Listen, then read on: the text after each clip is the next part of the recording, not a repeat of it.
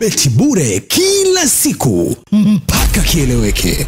Rapa na mfanyabiashara Kanye West anaendelea kushika headlines mbalimbali. Hii ni kutokana na mambo yake kadha wa kadha ambayo amekuwa akiyafanya na kuyaongelea, na hili suala la hivi karibuni kutoa kauli mbaya kwa Wayahudi, jambo ambalo limezua hisia tofauti tofauti, huku baadhi ya watu wakisema kwamba Kanye West anafanya makusudi katika mambo yake yote ili tu aweze kuongeleka, kwa sababu imekuwa ni suala la kawaida sana kwa Kanye West kufanya vitu ambavyo vinakuwa na tafasiri tofauti kwa watu wengi. Kupitia kwenye podcast Paul ambapo rapper Kanye West alikuwa akifanya mahojiano yani interview, aliondoka katika podcast hiyo dakika 20 tu mara baada ya mahojiano hayo kuanza.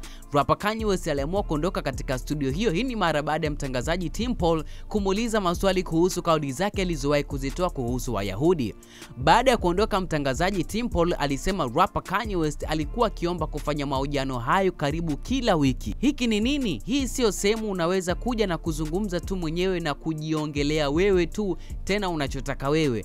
Kanye West alitaka sana hii interview lakini inaonekana hatukujadili chochote. Tulimkarimu kabla ya interview, lakini hakutaka kufanya mahojiano na sisi, alikazia mtangazaji Tim Paul. Yani Tim Paul, hayo ndiye ambaye alizungumza kwamba Kanye West yeye ndiye ambaye alikuwa akiataka mahojiano hayo karibu wiki nzima, lakini kilichotokea kilikuwa tofauti. Yani Kanye West alichokuwa anakifanya ama alichokuwa anakitaka ni kuongea kile ambacho yeye anakitaka ama kujisikia, lakini sio kile ambacho alikuwa akiulizwa katika podcast hiyo na mtangazaji Tim Paul.